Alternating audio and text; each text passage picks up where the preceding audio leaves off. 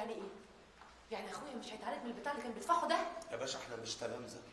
أنا متأكد إن في حد بيدخل لأخويا البودرة جوه المستشفى.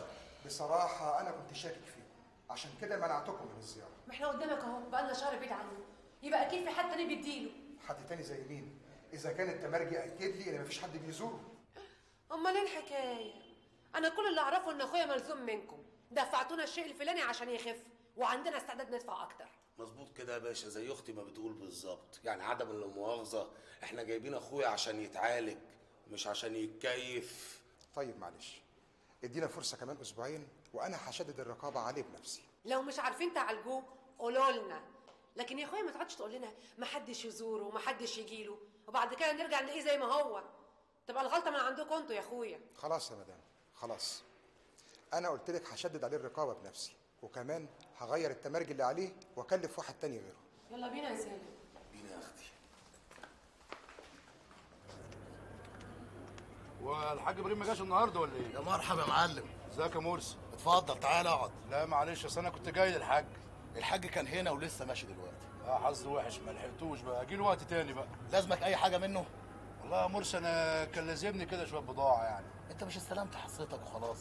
أصل البضاعة عجب قوي والصنف عليها يعني زي ما تقول كده طلب كتير. المهم أجي له وقت تاني بقى. علوم اطمن أنا هبلغه. اقعد بقى اشرب شاي. يدوم يا مرسي يا دوبك بقى عشان القهوة لوحديها. سلام. إيه الحكاية يا ابو نواس؟ الواد مرسي بلغني إنك سألت عليا كذا مرة وبعدين قلت له إن أنت محتاج بضاعة. إيه الحكاية؟ وبعدين ما أنت عارف. الطلبية الجديدة لسه ما وصلتش وبعدين على حد علمي يعني انت واخد حصتك وبزيادة كمان آخر مرة هو في حاجة؟ لا ده أنا كنت بقول كده للواد مرسي فتحي بيه بتقول كده المرسي ليه يا ابني؟ هو في إيه؟ في يا حاج أنا شامم ريحة حاجة مش حلوة شامم ريحة إيه يعني؟ الواد مرسي بينط عند ورده قلت أسألكوا احتمال أنتوا اللي باعتينه انت شفت ده بعينيك؟ لا ياكلهم الدود يا حاج أيوه شفته كم مرة يعني؟ مرتين وجايز بروح لها قبل كده وأنا ما شفتوش طب قول لي يا ابو نواس انت ما عرفتش هو بيروح لها ليه؟ في الحقيقة لسه ما أعرفش يبقى هو اللي بينقل اخبارنا عندها اخبارنا إيه بس اللي هينقلها؟ الواد مرسي ده من رجالتنا وبعدين أنا اللي مربيه ده لا يمكن يكون معلمه ما دام كده يا حاج يعني إيه اللي بيوديه عند اعدائنا؟ احتمال احتمال يكون برعي مشغله متسهل بينه وبين البت وردة. وردة؟ وردة خلاص اتجوزت.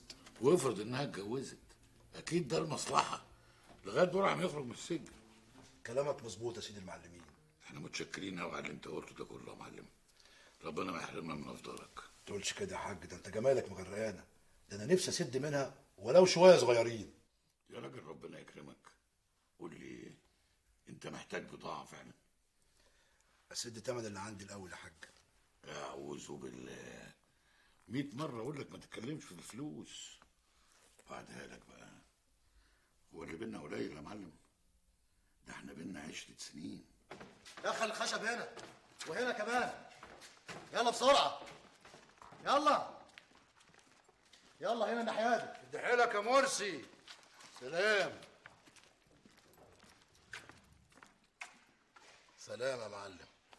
أنا مش مصدق حكاية إن مرسي مرسال برعي طب والله الحمد لله. ده أنت بدأت تفهم. قصدك إيه؟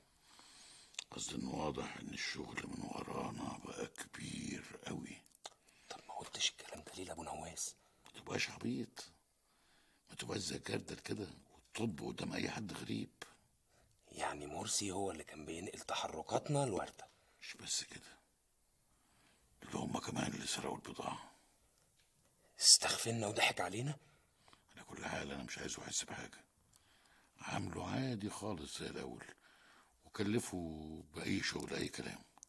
وبعدين؟ وبعدين سيبولي. سيبولي لغاية ما نخلص منه. مرسي ده عبرة لغيره يا سي فتحي أمال فين البضاعة اللي هندفنها آه موجودة. موجودة. أمال أنا جايبك ليه؟ ما توري له البضاعة يا رجالة. إيه يا سي فتحي ده.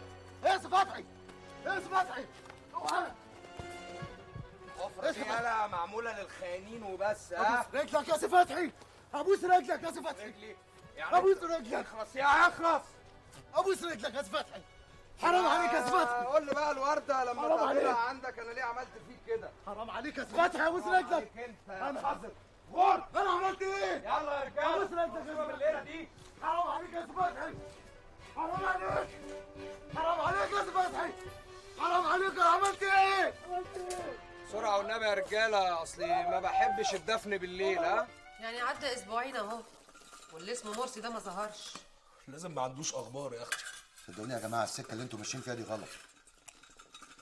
غلط ليه يا سي مجدي الاسم الموسي ده مش مضمون. ممكن أي حد يشتريه ويتقلب عليكم.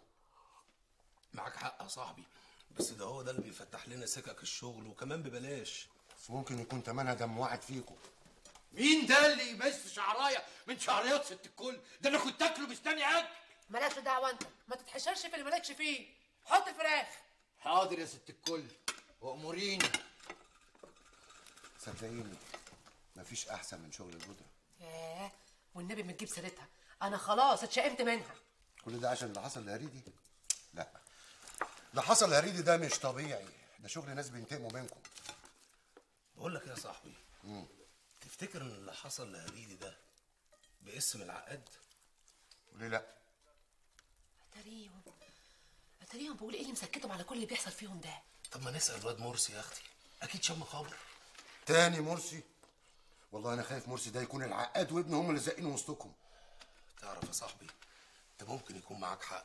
وخصوصا العمليتين الاخرى طلعوا في شنك والواد مرسي هو اللي كان مبلغنا بيهم. بالظبط. قالوا كفاية عليكم لحد كده.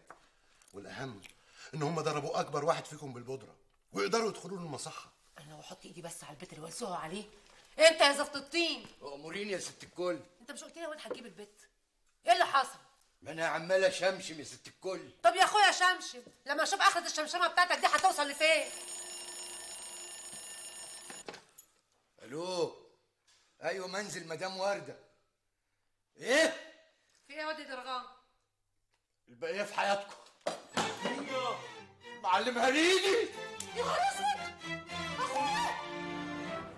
آدي واحد. إيه رأيك بقى في الشغل يا حاج؟ ما انت عارف رأيي فيك وفيه طول عمري يا عمنا لا قول لي يا حاج مرسي ادي له يومين كده مش ظاهر. والله انت عمرك أطول من عمري. أنا كنت لسه هسألك نفس السؤال. طب وانت إزاي يا حاج ما تعرفش مرسي فين والحقيقة هو من يوم ما سافر وقال انه راح البلد عند جماعة قرايبه هو راح من هنا وقال عدولي أنا بس خايف يكون اتلم على البت وردة وأخوها واشتغل معاهم. لا يا حاج أنا ما لمحتوش في كوم السمن يمكن يا ابني في واحدة لفت عليه أو النداهه ندهته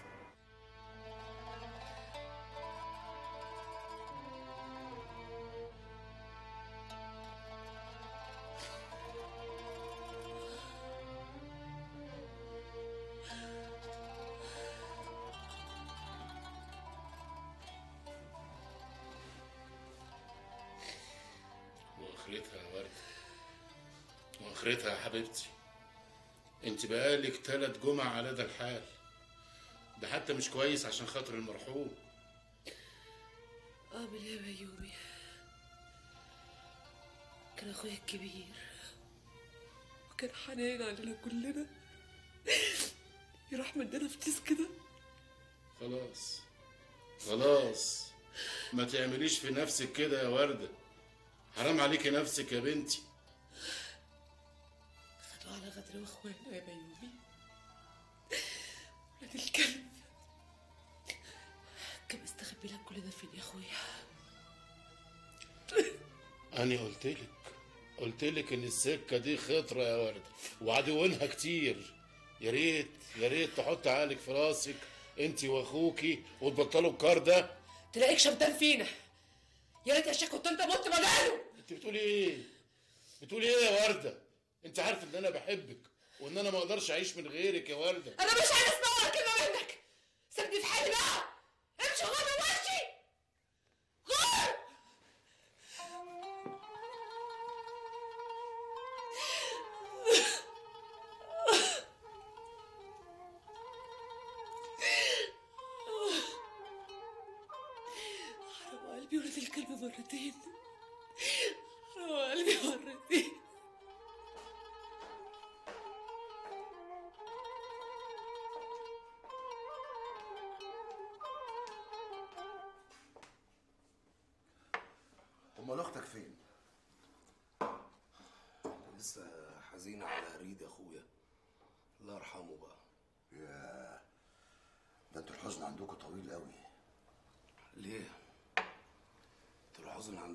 مش طويل زينا؟ لا إحنا عندنا الحزن قصير قصير يعني كم متر يعني؟ بس عارف انت بتتكلم صح المسافة ما بين الميت اللي بيتدفن وبين اللي بيدفنه بتبقى بتاع اتنين تلاتة متر وبعد ما يتدفن وتمشي كل ما تبعد كل ما الحزن بيبعد. ده إيه الكلام الجامد قوي ده يا صاحبي؟ أنت كده التعميرة عالية ومتكيفين على الآخر. ننده الواد شعبان بقى عشان نقفل. يلا. هذا شعبان. شعبان. اقفل يا سليم بيه بقول لك إيه؟ عايزك تشطب القعدة وتروق الشقة حتة حتة. آه. وما انساش أقفل الباب وراك كويس. ما أنت ناصح أهو يا أشوفك أمس. ما تطيعش يا باشا. سلام يا بهوات حاضر يا سيدي المعلمين. هشطب. هشطب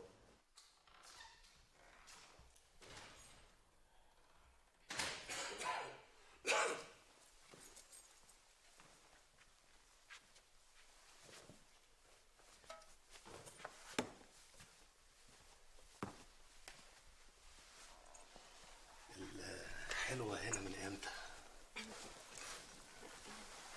من ساعة ما شعبان راح معايا. قلت أجي اطبخ لك وأحضر لك العشاء. حبيبي يا شعبان هنعمل إيه بقى؟ ما هو من ساعة أخويا هريدي ما اتكل وأختي ورده لا بتطبخ ولا بتأكل ولا أي حاجة. حسر عليك يا معلم بيومي. بيومي إيه اللي حصر عليه ده يا بت؟ ده بدل ما تقولي حصر عليك يا معلم سالم يا بت ولا بلاش. ما أنت معاك صفية. صفصفتك اللي بتقضي لك كل طلباتك. ماشي يا صفصفتي يا حبيبتي. يلا بقى جهزي لي العشوة الحلوة عشان أنا جاي متسلطن على الآخر والدماغ عالية ومظبوطة قوي. طب مش تريح شوية؟ ده أنت تلاقي عين المشوار هد حيلك. أنا حيلي ما بيتهدش يا بت عارفة ليه؟ ليه يا سيد الرجالة؟ عشان عدم اللي مؤاخذة. اتولدت من غير حيل. ضحكتك دي بقى حلوة اللي هتخلي شعبان يخلص مشاويره ويجي جري على صوتها. بص بقى يا سيد المعلمين أنا عاملة لك مفاجأة إنما إيه؟ عاملة لك كل الأكل اللي أنت بتحبه. حلاوته حلاوته. أموت في مفاجآتك.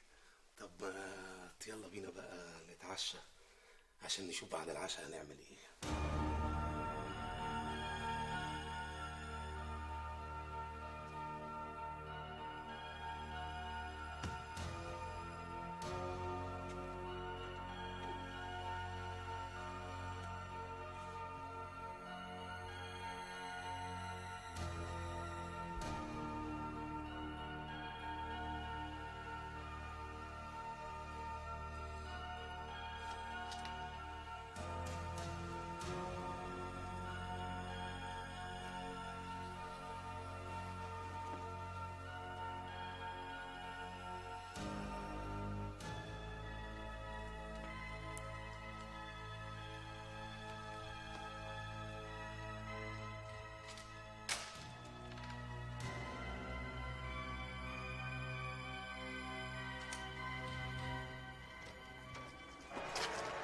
تعملي إيه عندك السعادة فوق يا بت ياه خضتني يا أخويا.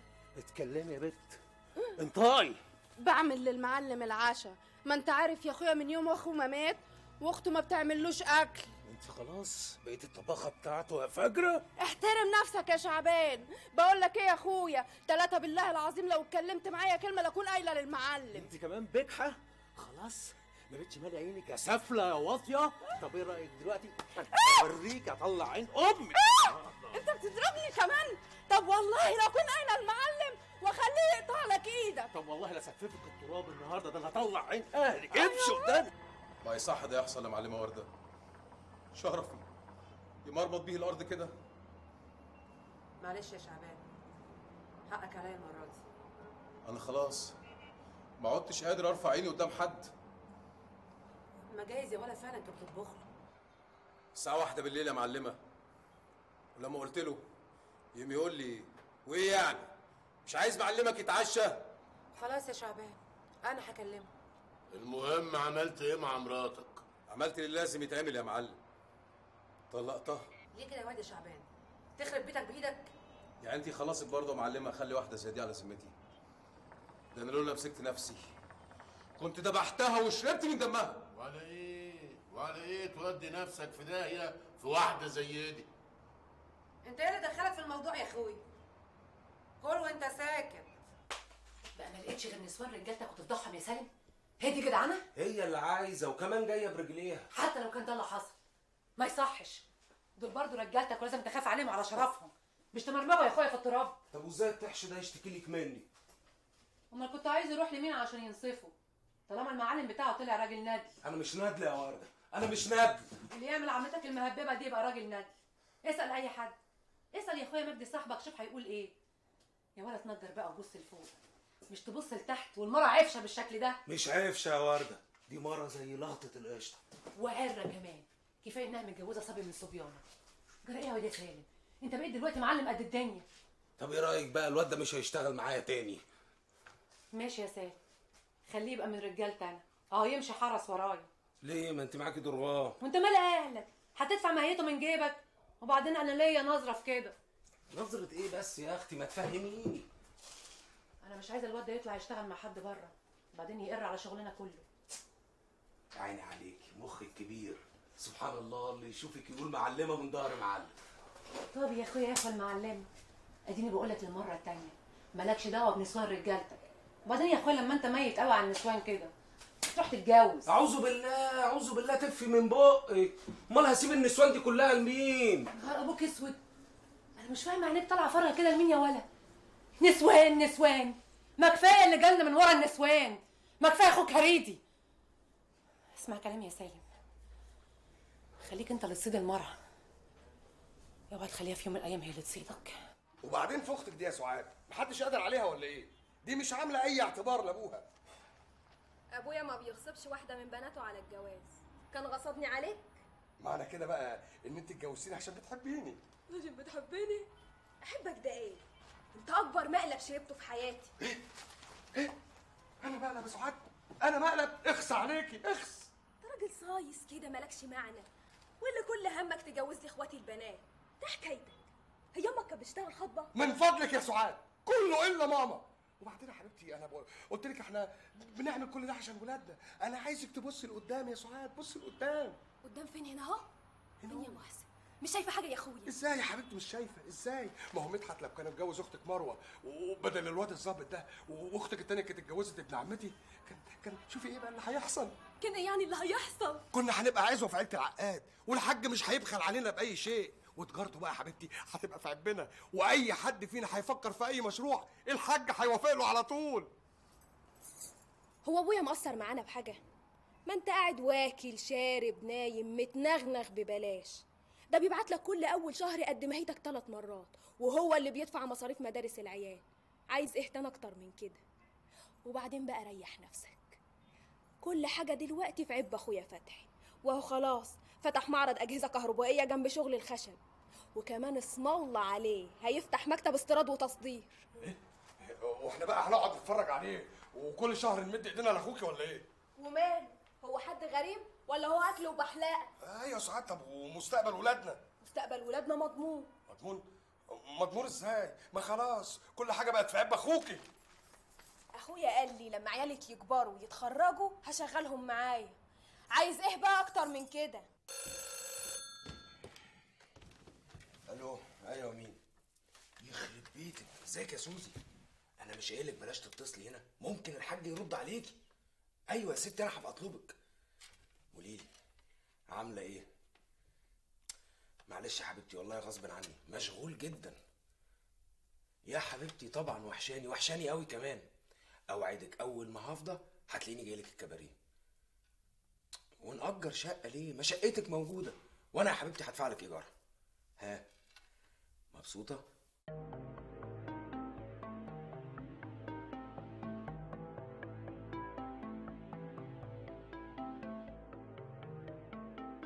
بقى ما لقيتش غير نسوان رجالتك وتفضحهم يا سالم. هي دي جدعانه هي اللي عايزة وكمان جاية برجليها. حتى لو كان ده اللي حصل. ما يصحش. دول برضه رجالتك ولازم تخاف عليهم على شرفهم. يا ولا تنضر بقى وبص لفوق. مش تبص لتحت والمرة عفشة بالشكل ده. طب يا أخويا يا أخويا المعلم. اديني بقول لك للمرة التانية. مالكش دعوة بنسوان رجالتك. أنا مش فاهمة عينيك طالعة فرقه كده لمين يا ولا أبو النواس آه، أنت قلت لي الراجل جوز وردة ده بيشتغل في إيه؟ شغال مقاول مباني يا حاج. مقاول مباني الله. ده راجل مليان يا ابني. إيه اللي مليان يا حاج؟ ده واخد لها شقة على النيل بالظبط زي الناس ال high life الله الله الله. ده بيحبها يعني. إيه اللي بيحبها يا حاج؟ ده لا مؤاخذة بيبوس التراب اللي ماشي عليه. انما يا حاج ليه السؤال ده؟ لا ابدا مفيش. بس بيني وبينك آه، أنا بفكر في حاجة كده. فكر في إيه لا مؤاخذة؟ أنا نفسي يبقى في شغل بيننا وبين الراجل جوزها ده. بس ده يا حاج ملوش في الصنف ده مقاول. جراية يا جدع أنت. وأنا بشتغل في الصنف وبس. أنت مش شايف فتحي ابني؟ ده بقى واحد من أكبر رجال الأعمال في مصر. هو أبو النواس. أنا عايزك تفهم.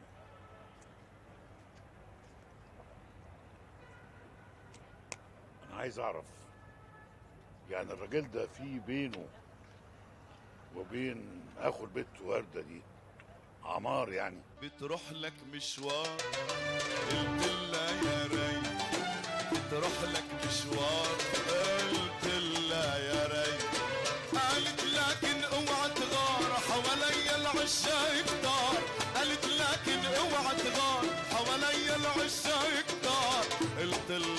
بطل خليني بالبيت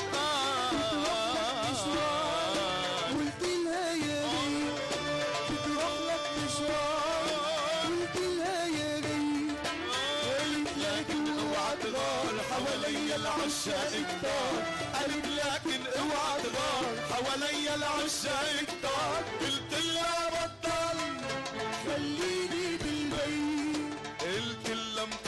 تكسير ما بمشي هيك مشاوير. والله مكسر تكسير ما بمشي هيك مشاوير.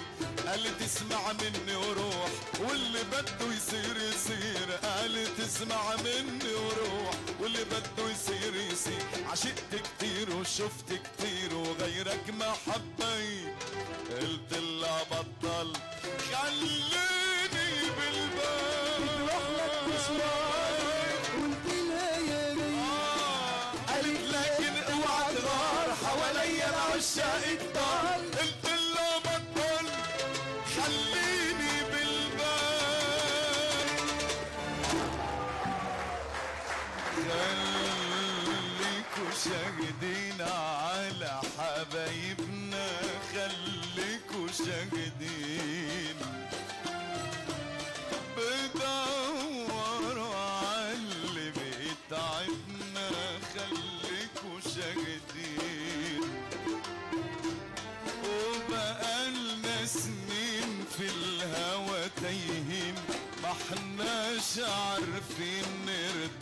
مع مين بقالنا سنين في الهوى تايهين ما احناش عارفين نرتاح مع مين جرحونا الأحباب جرحونا.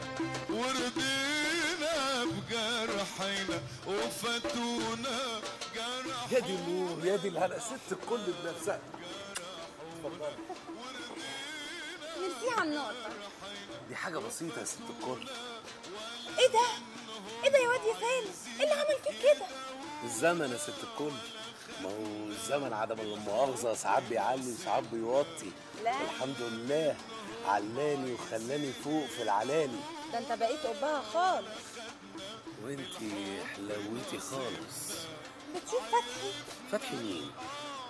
آه فتحي العقاد. بس دلوقتي أنا في سكة وهو في سكة تانية خالص. خلينا في المهم يا سوسي هنكمل هنا ولا هنكمل عندي في البيت؟ على طول كده؟ إيه الجراءة دي يا واد؟ ما كله بتمن وبيت وبتقول بنت كده حيف؟ ليه؟ ما يكونوش غيروا اسمك وأنا ما أعرفش. يخرب بيتك. ده أنت كمان بقيت تعرف تتكلم. المهم هنكمل هنا ولا هنكمل عندي؟ أنت عارف أنا تبعك. آه. عارف. بس أنا هدفع قد اللي بيدفعه فتحي العقاد مرتين يا سوزي. منين ده كله؟ ما يهمكيش منين. المهم تقبضي وما تسأليش. انت بقيت حرامي ولا إيه يا واد؟ ما بقتش جديدة يا بنت. ما يلا بينا. انت ساكن فين؟ خليكوا شاهدين كده برضه يا سالم جايبني نفس الشقة اللي كان فيها. أيوه مظبوط كده. أنا جايب لك نفس الشقة اللي كان فيها. ياه آخر مرة دخلت فيها الشقة هنا. الحاج طب علينا وطردني منها. وطرد فتحي هو كمان. لا يا حبيبتي الكلام ده كان زمان وجبر. انت دلوقتي مع المعلم سالم على سنه ورمح. يعني عدم اللو مؤاخذه محدش يقدر يترفلك ولا يبصلك. انت من النهارده يا روحي بقيتي ست البيت ده. يعني الكل في الكل. بس أنا مش قادرة اصدق عينيا. أنا حاسة اني بحلم بقى انت الواد اللي كان لك بقى وبعدها لك ما بلاش كلمة واد دي. الواد كبر دلوقتي وبقى معلم. إحنا أولاد النهارده. ها اتفقنا؟ هقول لك إيه؟ اتفقنا. ألو. افندم. إحنا مش هنخلص بقى من موضوع العزايم ده. ده انت حتى عمرك ما فكرتي تعزيم ابويا ولا امي. إيه العزايم كلها مقفولة على أهلك وبس. أنا مالي ومال قرايبك دول؟ أنا ماليش دعوة. أنا زهقت. اسمعي أنا مش فاضي وعندي شغل.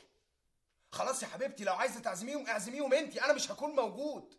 اعتقيني بقى لوجه الله. هو انت ولا بترحمي ولا تسيبي رحمة ربنا تنزل؟ مع السلامة. مع السلامة يلا مع السلامة.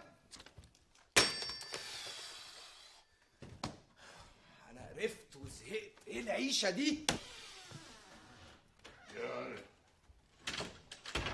مالك بتنفخ كده ليه؟ المصيبة اللي انت بلتني بيها يا حاج. المصيبة اللي انت بلتني بيها يا حاج. قصدك مراتك؟ مالها؟ كل يوم والتاني عازمه حد من أهلها عندنا في البيت. حولت لي البيت ريستوران عملته مورستان؟ قصدي حولت لي البيت مطعم. مطعم يا حاج. وماله يا ابني؟ حد يكره إن الناس تقول عليه انه راجل كريم؟ أيوه بس مش كل يوم يعني. أنا حاسس إنهم قاطعين عندنا ابونيه أنت بتزرزر كده ليه؟ أنا مش شايف أي غلط في اللي أنت بتقوله ده. يا حاج يا حاج نفسي في يوم أقعد أنا وهي نتعشى ولا نتغدى سوا لوحدينا. وحديكوا إيه يا راجل؟ ده كلام حد يقوله. هو الأكل يحلى غير فين لما؟ طب بالك أنا ما بتكيفش وما بستمخش من الأكل غير لما أخواتك ولادهم يتلموا حواليا في البيت على الأكل. أيوه يا حاج بس دول عيالك مش ناس غريبة. هم دول حماك وحماتك يعني في مقام أبوك وأمك. دي عمرها ما فكرت تعزمكم. لازم مين يا ابني؟ وإحنا ناقصنا عزايم. سيبك من الكلام الفارغ ده خلينا في المهم. قول لي انت فكرت هتودي الواد ابنك انهي مدرسة؟ أصل أنا عايز الواد إبراهيم ده يبقى في مدرسة قريبة مني. وأنا على كل حال رتبت له راجل من عندي طول بعرض. هيوديه ويجيبه. وبعدين جبت له كمان طبنجه تسعة ملي للواد؟ واد إيه الله يخيبك. للراجل اللي هيحرسه. يا حاج يا حاج أنا نفسي أبعد ابني عن الحرب اللي إحنا فيها دي. يا ابني يا ابني في إيه بس؟ المفروض اللي أنا بقوله ده أنت كنت تفكر فيه مش أنا اللي اقعد أفكر فيه. خلينا دلوقتي في الأهم بقى واللي شاغلني. إيه حكايه مراتك أنتوا مش ناويين تجيبوا عيل تاني؟ مش هتأخي الواد ده. مش معقول الواد هيتربى لوحده كده من الأخ يلعب معاه؟ أصلها مش فاضية غير للعزايم يا حاج. عزايم إيه وخيبة إيه؟ اسمعني وافهم. أنا عايزكم تركزوا وبطلوا نقرة أنا عايزك تخلف. خلف قد ما تقدر قد ما ربنا يديك. خير ربنا كتير. والحمد لله أمك لسه بصحتها. يعني ممكن تاخد بالها من العيال وتربيهم. ها؟ قلت إيه يا معلم فتحي؟ الحمد لله. خد يا واد هنا تعالى. كمل أكلك يا حبيبي. شبعت يا ستو. يا ابني يا حبيبي لازم تاكل كل الأكل عشان تكبر كده وتبقى راجل. ما قلتلك شبعت. تشخط فيها يا واد. قلة الأدب اللي أنت فيها دي. أبوك بطوله وبعرضه وبشنبه ده عمره ما شخط فيا. تشخط فيا أنت. أعمل لك إيه؟ ما أنا قلتلك شبعت. إيه؟ ما بتسمعيش؟ نهارك أبيض يا إبراهيم. اخس عليك وعلى تربيتك. يقولوا عليا إيه؟ بهيجة ما عرفتش تربي الواد. خلاص يا ستو. أنا قلتلك شبعت حلو كده؟ يلا هاتي دي وقبل دي اللي حلوة كده بصحيح مش لسانك اللي طول كده اللي عايز قطعه ده. بعد الشر يا حبيبي سندوتشات اهي باكلها كلها. ما تشحتش منها حاجة خالص. مفهوم الكلام؟ مفهوم. طيب يلا يا حبيبي. لا استنى دي أهم من كل حاجة. آه خد. التفاحة دي تاكلها كلها. اوعى تشحت حد حاجة شحتهم فلوس ما تشحتهمش الأكل. يلا.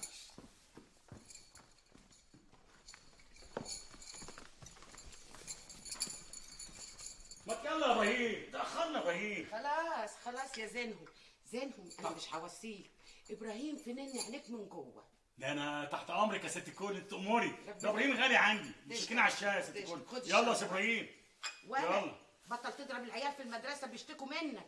لحسن يحسدوك يا واد يحسدوك. يلا اتكلوا على يلا. يا إبراهيم شاكرين قوي يا ست الكل السلام تسلم، عليكم. مع السلامة عليكم السلام ورحمة الله وبركاته. اوعى تقع يا واد من على السلم تكسر رقبتك. حاضر يا ست الكل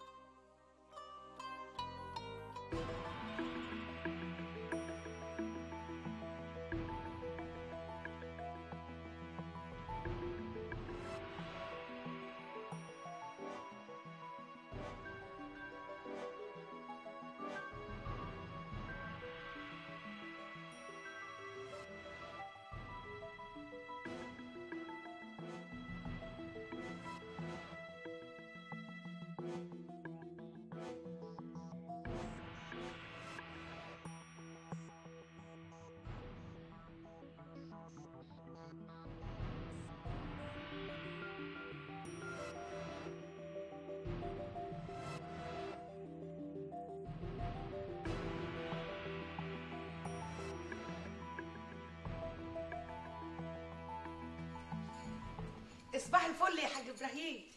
صباح الفل يا ست ميجة قولي لي الواد إبراهيم راح المدرسة. يوه ما تقولش عليه واد يا حاج. قولي الباشا راح. الباشا رجع يا دي الخيبة. باشا إيه وبتاع إيه؟ أنا مش عاجبني الدلع بتاعك في الواد ده. يا حاج هو إحنا حالتنا غيره؟ ما إحنا عشان ما حلفناش غيره. لازم نحسن تربيته. ولا عايزاه يغلبنا زي أبوه ما غلبنا قبليه. أبوه؟ ماله أبوه؟ فتح ابني زي الفل وفي ظهرك وشايل لك كل الشغل. بعد إيه ما انت عارفة كل حاجة. يعني عايزني أعمل إيه؟ يعني عايزك تشد عليه شوية. اذا مثلا في يوم قلت له روح المدرسة اتمايص ومش عايز يروح شدي عليه وخليه يروح المدرسة بالعافية. يا حاج يا حاج هو إحنا هنعيش له؟ الله الواد ملهوش صدر حنين غيرنا. مش كفاية يا كبدي ملوش أم. وكمان مرات أبوه مش طايقاه. أهو ده كلام النسوان الخايب اللي أنا ما بحبوش. ما أنا قدامك أهو. ما أنا اتربيت لا أم ولا أب. ماتوا وفاتوني وأنا عندي أربع سنين. لولا المعلم النعسي. الله يمسيه بألف خير. هو اللي خدني ورباني وعلمني إزاي أبقى راجل يعتمد عليه. بس يا حاج أنا قلبي مش بيطوعني أقسى عليه. ما حدش قال لك اقسي عليه. بس بلاش الدلع المالئ. ادخل. يا صباح الفل. يا صباح الفل يا فتحي باشا يا عم الدول وسيد الكل. بطل اوانت يالا وترزع اقعد هنا. عينيا يا باشا. إيه؟ إيه الحكاية؟ بقالي اترزع. بقالي أسبوع ما شفتكش. ما هو سعادتك يا فندم مشغول في المحل التاني. أنا يالا مش متفق معاك انك كل يوم تيجي تقول لي هنا نشرة الاخبار. أيوه يا باشا ما أنا محسوب حضرتك يعني. وبعدين كل الأخبار على قديمه. مفيش ولا حاجة على جديده. كله تمام؟ والأمن والستين يعني ولا سمعت ولا شفت حاجة؟ لا طبعا شفت وسمعت. كل اللي في القهوة زباين القهوة وأصحاب القهوة بيسألوا على واد مرسي. آه. صحيح. هو الواد ده غطس راح فين؟ أنا ما أعرفش حاجة عنه بقالي كتير. هو أنت ما تعرفش حاجة ولا سمعت حاجة عنه؟ ابدا يا باشا. هو حضرتك ما تعرفش هو راح فين؟ خسارة. الواد ده كان شايل حمل من على قلبي. كان قايم بالشغل كله. ربنا يعوضك عنه احسن منه يا باشا. طب ما حدش جاب سيرة وردة في الموضوع ده؟ فكرتني يا باشا. في البعض بيقول إنه كان بيروح قوم السنة بعض آخر بقى بيقول إن خلع من عندكم واستلقفته البنت وردة وأخوها الواد سالم بشندي الكلام ده عادي. أنا سمعته قبل كده. أنت عارف المشكلة في إيه؟ المشكلة إن أبويا كان بيعامل الواد ده زي ابنه الصغير. يلا مش مشكلة. تعمل خير تلاقيه شر. ما سمعتش حاجة تاني؟ آه يا باشا أنا اللي قلقني بقى ومنغص عيشتي. هو أبو نواس. ماله أبو نواس؟ يعني رجليه كده خدت على البطاريه اليومين دول وكل شوية يقعد مع الحاج في القهوه أنت آخر مرة شفتهم مع بعض كان إمتى؟ من يومين. طب وفيها إيه يعني؟ دي ما فيهاش حاجة. أنت عارف أبو نواس ده من أهم وأقدم التجار اللي أبويا بيحبهم. تلاقيه بيروح بس يقعد معاه كده يتمحك عشان يزود له الحصة بتاعته ولا حاجة؟ المهم نرجع لمرجوعنا. أنا عايزك تيجي تقول لي دبة النملة. حتى لو شفت الحاج واقف أو قاعد بيتكلم مع حد تيجي تقول لي. مفهوم يا حالتها مفهوم يا باشا يوه سايب القهوة ورايح فين يا حاج؟ جاي جاي. هروح فين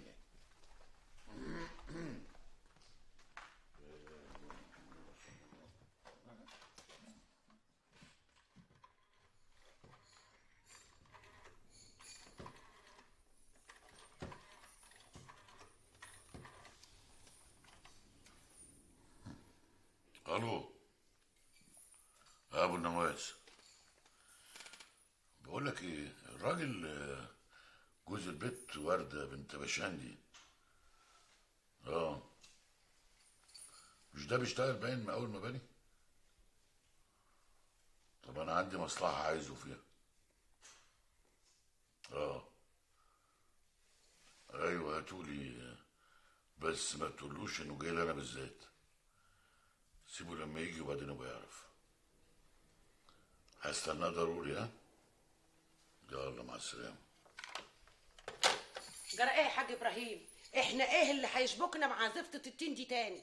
مين زفت الطين دي تاني؟ الزفته بنت بشندي وأنا مالي ومال بنت بشندي في اي حاجة؟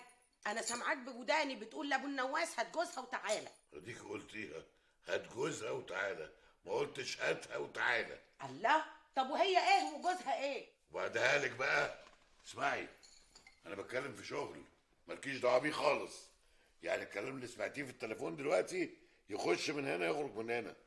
وروح اعملي لي فنجان قهوه بدل اللي بنت دي. حاضر يا أخويا من عينيا حاضر. عملت إيه استلمت البضاعة؟ أيوه استلمت البتاعه امسك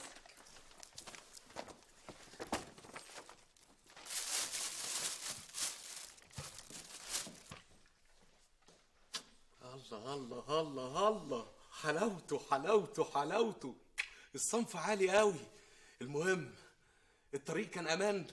جرى إيه يا واد ما أنا قدامك أهو. حقيقي. ما يجيبها إلا نسوانها. نسوانها؟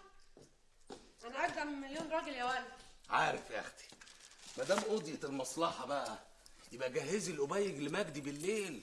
جهزي له فلوسه. أمال الراجل اللي جاب البضاعة هياخد بقية فلوسه إمتى؟ اتفقت معاه. هقابله بالليل في الكباريه. هي خلاص؟ قعدتك كل ليله في الكباريه عند اللي بتتسمى بتاعتك دي ولا إيه؟ اسمها سوزي يا أختي. سوزي. وبعدين يا أختي يا حبيبتي مش انت اللي قلتي لي؟ بص لفوق يا سالم. بس أنا ما بصيتش لفوق بصيت لهز الوسط.